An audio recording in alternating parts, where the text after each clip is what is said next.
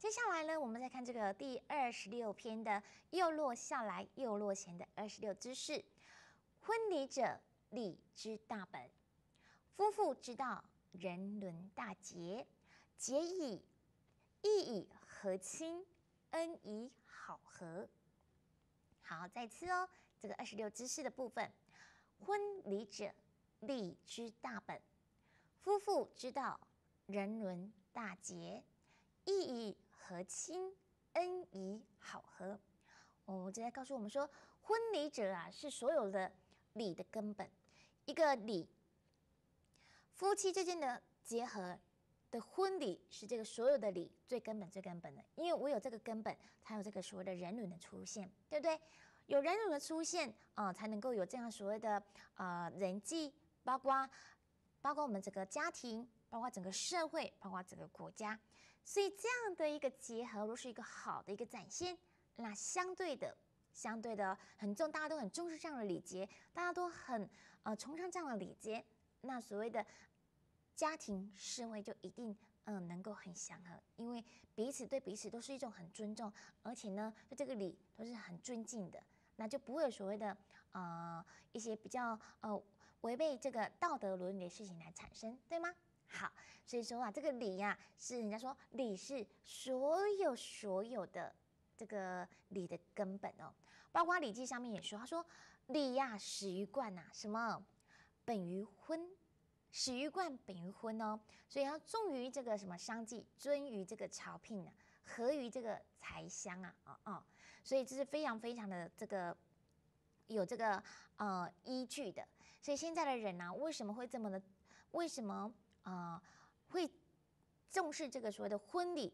婚礼其实是尽管只是两家子的两家子的结合，但是也不只是两家子哦，因为呢，这是一辈子的事情，一辈子要永永远远为这个家庭、为这个社会来建构起一个祥和之气的一个开始。所以我们很重要哦，两个人结合不是只有两个人结合，甚至是两个家庭的结合，甚至是整个社会的所谓的呃这个能够促成这个社会祥和的起源。所以不要小看这个这个婚礼，也不是也不要认为说它只是一个欢乐当下而已，它是一个。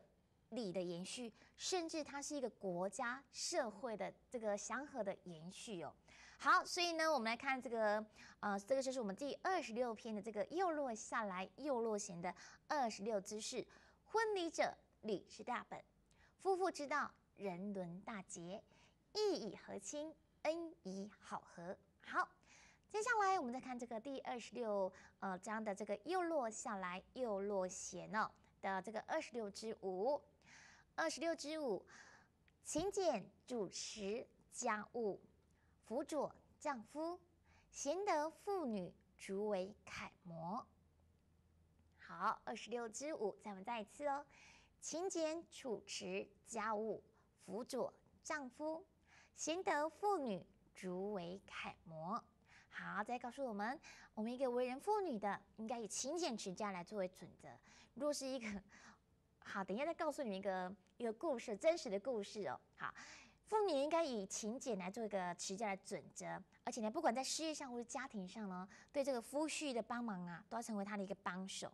因为唯有我们成为夫婿的帮手，他在事业上才能够很安稳。那家庭上我们也处理的很好，他才会很放心。不要说事业跟家庭让他非常非常的超凡，那这样子一个人两头忙，怎么会把事情做得好呢？对不对？所以，你要是发现你的老公生意好像不是做得很好，哎，那这样子可能就要怎么样？要注意一下，我们是不是没有帮助呃老公把这个家里处理好？所以，各位亲爱的同学，回到家之后，假如你的妈妈常常跟你爸爸说：“哦，我啊，真是不幸啊，怎么会嫁了你这样老公啊？怎么赚的钱这么的少，事业做的这么不好？”这时候你就必须要跟妈妈说：“妈妈。”这不全然是爸爸的错，是谁的错？妈妈，你也有错。什么错？因为你可能还做的不够好，不够让爸爸很放心的去开创事业，所以呢，才会导致爸爸事业做的这么不好。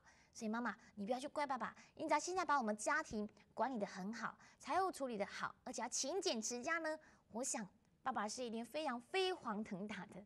但是要很委婉的讲哦，不可以说妈妈都是你的错，就是你怎样你怎样你怎样你怎样，不可以，这是不对的。要说妈妈，我觉得呢，我们应该怎样怎样，爸爸会更好，怎样怎样怎样的。哦，你又是用委婉的态度来跟妈妈来讲，哎，说不定能够造成这个好的效果来产生，也不一定，对不对？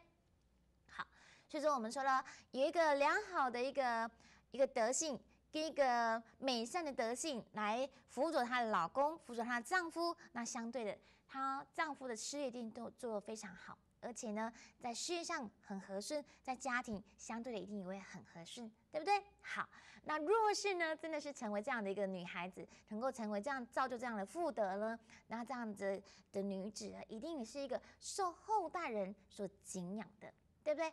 好，那我先讲一个这个我们刚刚说勤俭持家，这个我刚刚说要讲这个故事哦。呃，前几天呢，我在上课，就是呃本身呢还在进修，在上英文课。那我的英文老师呢就跟我说啦，他就谈到他的妈妈了哈，他跟他妈妈非常 close，就是他跟他妈妈感情很好。那呢感情好，非常好，无话不谈哦。那可是他对他妈妈有一种。很深刻的那种所谓的，嗯，埋怨的话，他讲什么你知道吗？他说啊，我真是上辈子欠了我妈妈了，我怎么会，我怎么会落到这种地步呢？你们知道他说什么吗？因为呢，这个孩子非常孝顺，我老师非常孝顺，他把赚的钱全部都给他妈妈。那他妈妈呢，不知道为什么，因为他们家有三个孩子，其中大大的孩子，其中大哥呢。从小呢，哦，从他开始工作呢，也把钱都交给妈妈。但是呢，几乎妈妈好像都会把钱不由自主的花完。然后等到这个二儿子呢，诶，要再赚钱的时候，他又把钱呢，也都是全部交给妈妈，自己仅仅留一些零用钱而已。然后他也发现妈妈怎么还是把钱都弄都用光光，然后害他呢想要出国去读书，甚至呢想要比别人买一点好好东西的时候，他都没办法。所以他认为说妈妈怎么这么会花钱，所以导致到最后，他甚至认为。他拿钱给他妈妈，到底是对还是错？因为他认为妈妈都把钱都不都都花光了。那我就跟他说啦，我就跟我们老师说，我说有时候不是你看到的那样子，说不定是妈妈把你的钱怎么样存起来了，对不对？就像那个我们之前有讲过那个北元武的故事嘛。北元武他妈妈就认为说，他帮他孩子存钱啊，因为他因为他怕他的孩子把钱都花光了，所以他就另外一种方式，就是一直跟他孩子要钱。一直跟他孩子要钱，但是这个北元武呢，不知道妈妈要钱去做什么，然后呢，只知道北元武的母亲去世之后，北元武才知道哦，原来妈妈跟我要钱是为了帮我存钱，所以呢，当下我就用这个故事呢跟我老师分享，我老师就说啊，真的哦，好像真的是这样子哦，所以呢，他当下呢就改变了，就换个心境来看待他妈妈所谓的这个钱一手来一手空的这种心境哦。所以各位亲爱的同学，父母亲对我们所做的一切，有时候不一定是我们看的那样子。